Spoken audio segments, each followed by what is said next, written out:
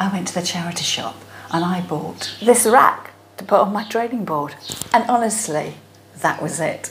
Now, that doesn't sound like a very exciting video, does it? But I went to Sandwich here in Kent a couple of weeks ago, and I thought rather than waste the footage that I filmed, you might enjoy a tour of this beautiful historic town. And if that isn't for you, skip along to the end of the video and I'll show my thrift haul from other charity shop adventures over the last six weeks or so.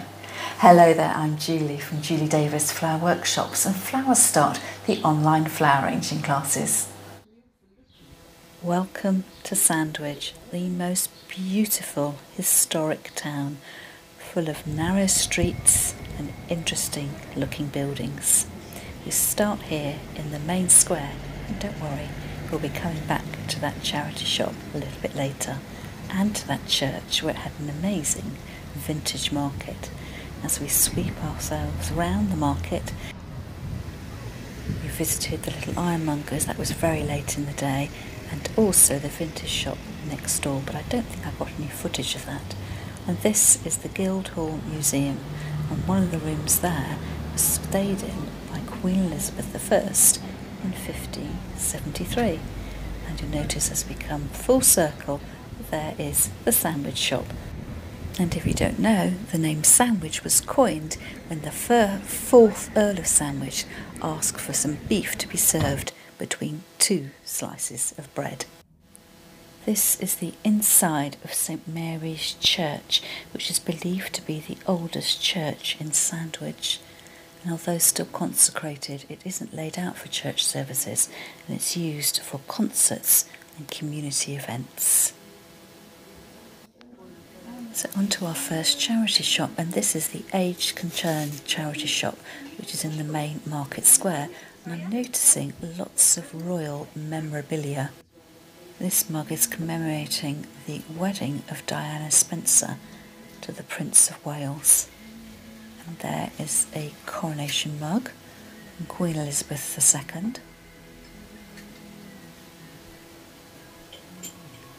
For four pounds. Obviously bought in Cambridge. Now this is an interesting piece. Chippendale glass, a huge fruit bowl for £25. Are you an expert in Chippendale glass? Now watch on to the end of the video and I share my thrift haul because I've got a few questions about this glass. More royal memorabilia, a little plate there for the Queen's Silver Jubilee in 1977.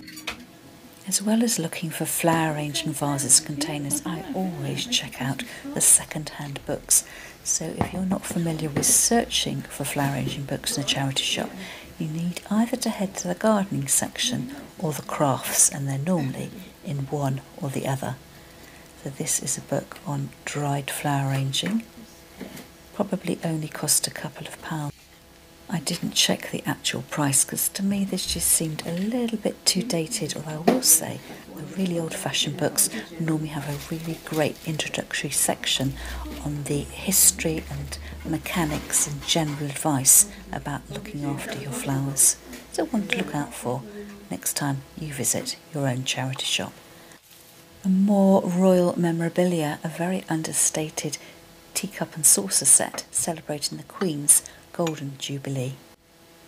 This shop was set out over two floors, and from the first floor staircase, you can see out onto the historic Market Square, and that's the Guildhall Museum just off to the left hand side. This is St Peter's Church, cafe tables laid out, and as we went through the doors, my friend commented that you can actually go up the church tower and get a view out over the town. We just didn't have time to do that this time round, so we'll definitely be back. But we went into the main church and it was all set out with an array of market stalls. I always head out to look for the books first of all. I've got one friend who heads out to look at the crockery and another who's always on the search for fabric for creative projects And here are the books that I'm looking for. Flowers sandwiched between Fix for Dummies and Gardening. This is Malcolm Hillier's book on flowers, quite a popular one in the charity shops, but a good starting point if you don't have any other flower arranging books. Again, a little bit dated as you flick through the pages, there's always an idea that you can pick up, a little bit of knowledge that can be gained. And this is another Malcolm Hillier book, A Guide to Arranging Dried Flowers. Dried flowers are really, really popular at the moment, and if you don't want to go out and buy an expensive new book, just pop into your charity shop or, like here, a church sale, and you'll be able to pick up a book for probably just two or three pounds. Perhaps you've got a wedding on the horizon. This book by Karen Bussen was just absolutely beautiful. I think perhaps she's an American writer. Seemed to have a very Californian vibe to the book. A great one for flicking through for ideas and inspiration if you've been asked to do the flowers for your next family wedding.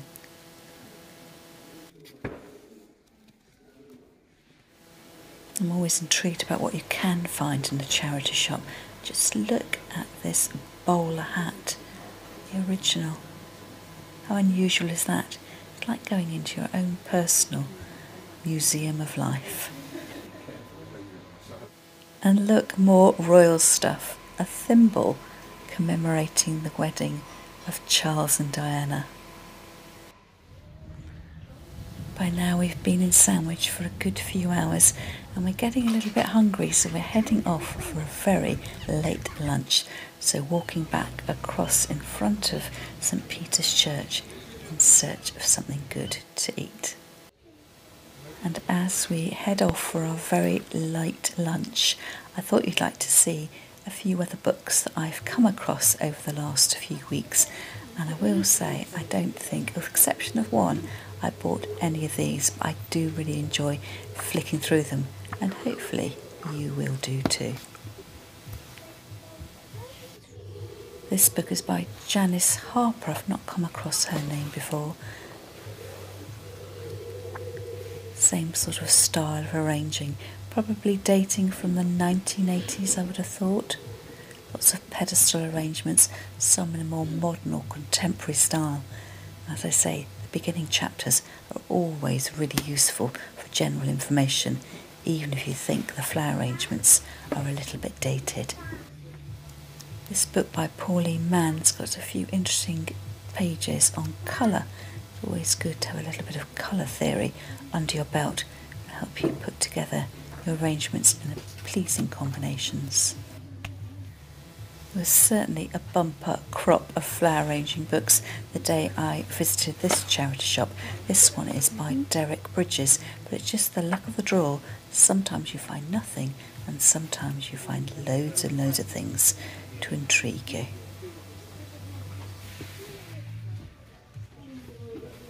You think that the last few books I've shown you are a little bit too old fashioned, I think you'll really enjoy Paula Pryke's book called Flower School It's much more modern in outlook, and she always has the most amazing colour and flower combinations, so well worth a read. This is a second charity shop in my hometown, and when I come to think about it, I mentioned to a friend that I'd spotted loads of flower arranging books, and she said that she was the one that donated them all. Now, I'm not really into plants, but this book called Decorating with Plants, again donated by my friend, and I did go back and buy it. The opening chapters were really interesting. So let's move on to the thrift haul section of the video. My first find of the month are these little test tubes, and I found these at an antique store close to home. I, I particularly like these ones with the little scientific details on them. And these are quite inexpensive and in fact I think they were probably cheaper than buying them online. So I got three with the little measurements on and three blank test tubes which are really great for more contemporary style flower arrangements and of course going foam free.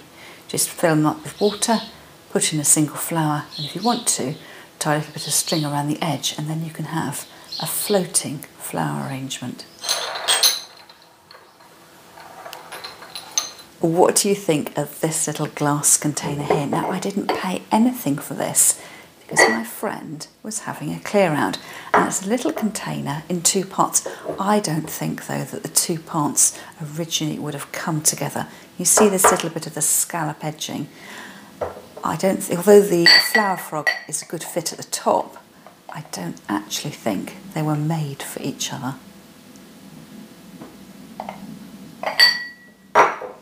Perhaps this was some kind of sugar bowl, a little footed container. The little details here of the round buttons and then the slotted shapes here will disguise any chicken wire I decide to put into the middle to hold up my flowers. Or of course I could slot in the glass flower block and arrange my flowers through that instead. And if you'd like to find out about flower blocks and pin holders, other ways of holding your flowers in place without using flower foam, head on to the description underneath this video and I will leave a link to a couple of my recent videos which you may find of interest. This container came from the same friend, a little footed container. You may have seen this before in the segment I filmed on compots, footed containers that are really handy for flower arrangements. So this one here has got a lovely glazed inside edge and a hole down the middle. So it would be really lovely if you had a small hand-tied posy. And the edge here is all knobbled and gnarled. I'm thinking this is probably made in the 1960s. And talking about Julia Clements, I've made a list of all the containers I'll need to recreate her arrangements. And one of those was to make an arrangement in a seashell. And lo and behold, no sooner had I written myself out a shopping list than I found this out at the front of one of my local charity shops in town. And as you can see, I paid a pound. Probably not something I would have bought to enjoy at home if I wasn't doing my Julie and Julia project. And some glassware here. Now this will be pressed glass. It's a semicircular container and I quite like the idea of this so I could put it on my mantelpiece and butt it hard up against the mirror and then I could make myself a tiny little arrangement perhaps with spring flowers but the reflection in the mirror would make it look like a complete circle. So I have got some ceramic posy bowls so I'm going to call this a semicircular posy bowl in pressed glass this one cost me a pound. Needs a bit of a clean. Quite like the ridging all the way around the edges. So probably, probably what I'll do is to scrunch up some wire inside just to support my really short stemmed spring flowers, perhaps some snowdrops, primroses or grape hyacinths, just something small and delicate. Now do you remember the very expensive piece of Chippendale glass I showed you on the video clips from the charity shops in Sandwich. Now I spotted this. Also a pound. Is this Chippendale glass? It's got the trophy style handles, the hexagonal footplate and the ridged sections at the top. Now I am no expert at all, but do you know anything about Chippendale glass? Have I got the real deal here? For one pound. And what about this? I've had this little container for absolutely ages. It probably cost me a couple of pounds. Do you think that could be a Chippendale salt? I'm not sure at all. So it's got a little dip at the bottom, the trophy style handles, the, exact, the hexagonal base, and then the scalloped shaped edges around the top. The two together, what do you think?